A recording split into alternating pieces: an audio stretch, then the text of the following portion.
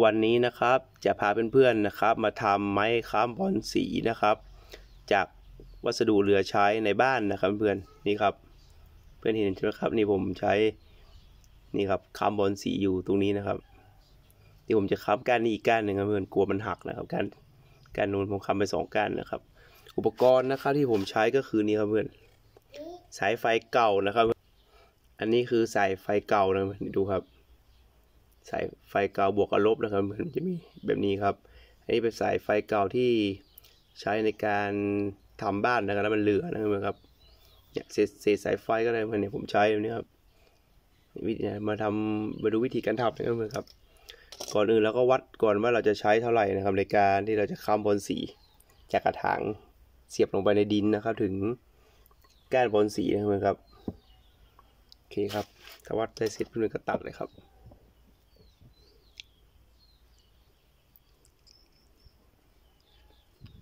ช้ครีมตัดให้ขาดเลยนะครับโอเคเรียบร้อย นี่ครับ เสร็จแล้วก็ ใช้มีคัตเตอร์ครับปอกก่อนผ่าครึ่งนะครับ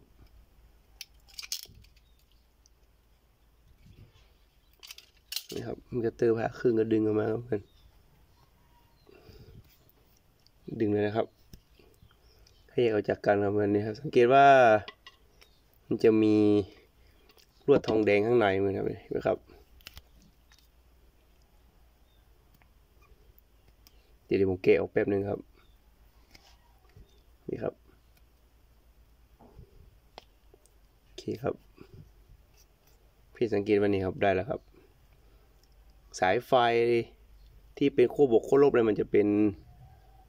ทองแดงข้างในมันครับ มันก็จะแข็งพอประมาณสามารถดัดได้แล้วก็เสียบได้ครับ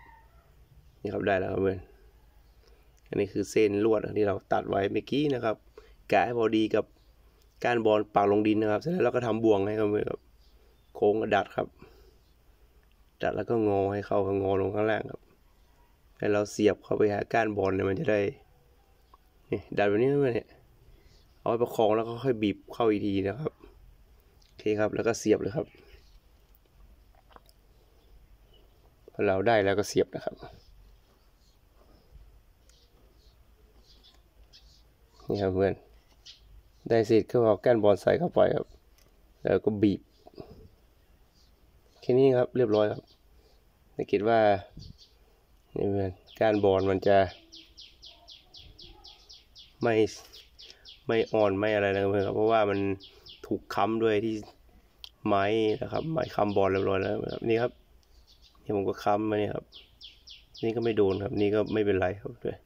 โดนลมโดนอะไรนิดหน่อยไม่เป็นไรเพราะมันมันเป็นลวดทองแดงแข็งครับ นี่ครับ ง่ายๆเหมือนในการค้ำบอลนะครับ ไม่ต้องใช้ไม้ครับไม้นี่ลดน้ำไปนานๆผุครับเพื่อนนะครับ แต่อันนี้นะครับ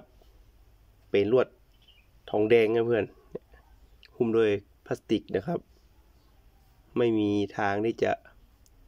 พังแน่นอนมันเสียบได้เลยครับแล้วก็สามารถย้ายก้านย้ายอะไรถ้ามันยาวขึ้นเราก็สามารถย้ายไปเสียบอันที่มันสั้นก้านเนี่ยมันสั้นกว่าเดิมได้ครับแล้วก็เปลี่ยนก้านเนี่ยมันยาวขึ้นนะครับครับเดี๋ยวผมเสียบเรียบร้อยไปเลยครับนี่ครับ ดูดูก้านอื่นมาครับที่ผมเสียบนี่ครับ อันนี้ผมก็ประคองไว้ครับ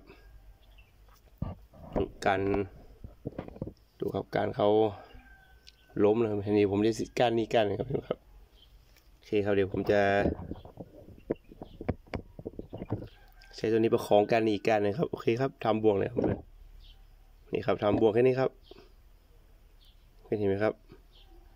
นี่ครับทำบ่วงแค่นี้ครับ แล้วเราก็ไปคล้องตรง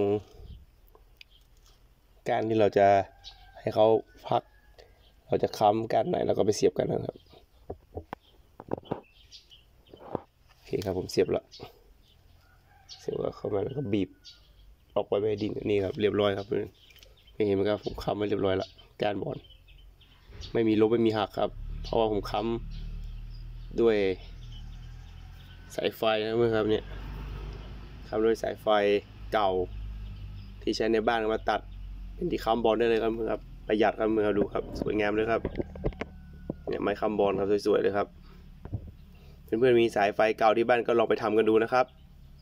ไม่ยากครับเอาของเก่าที่มีที่เหลือใช้มาใช้ประโยชน์ได้ครับ แล้วก็สวยด้วยครับ แล้วก็แข็งแรงทนทานแน่นอนครับ กับไม้ค้ำกานบอลของเราสวยๆครับนะครับ